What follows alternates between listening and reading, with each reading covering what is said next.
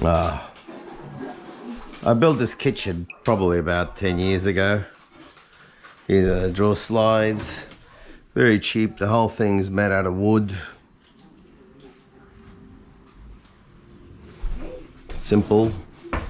Or whole thing, I should say, is made out of plywood.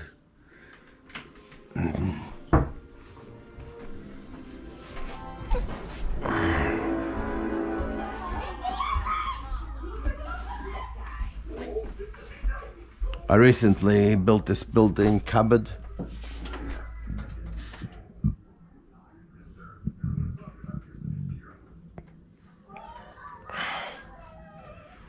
Nothing's made from scrap.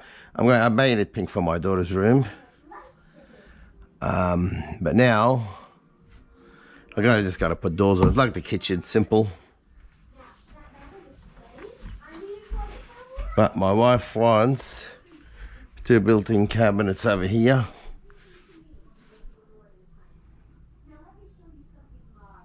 There's a beautiful cupboard. That's staying. That one down there is going.